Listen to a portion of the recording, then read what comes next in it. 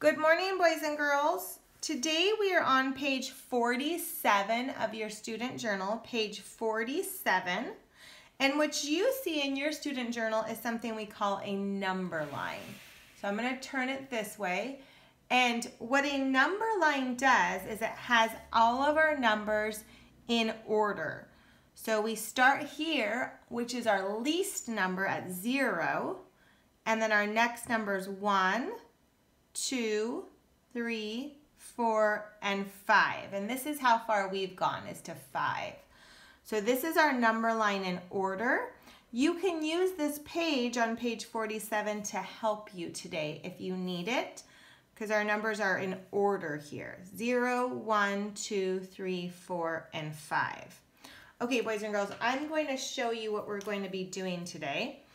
So our goal today is I'm going to use the number line this is our number line to help me, if I need it, to order numbers from 0 to 5. So here is my first problem. and it wants me to identify the numbers in the box and decide which number is missing. Which number do they have a line and a blank for? Because I need to fill it in.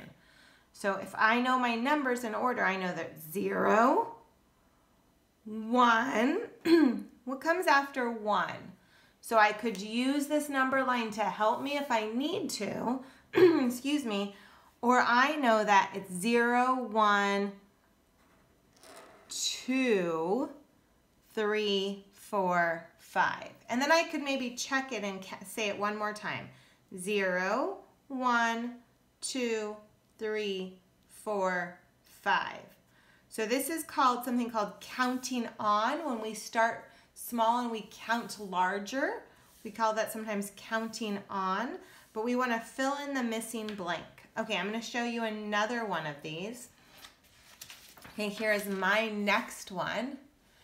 And it says blank one, two, three, four, five. What number comes before the one? Before I have one object, how many objects do I have? I know that I have zero comes before the one. So it's zero, one, two, three, four, and five. So that's what you're going to be practicing today, boys and girls. And remember, you could use your number line if you need some help. Have a good day. Bye-bye.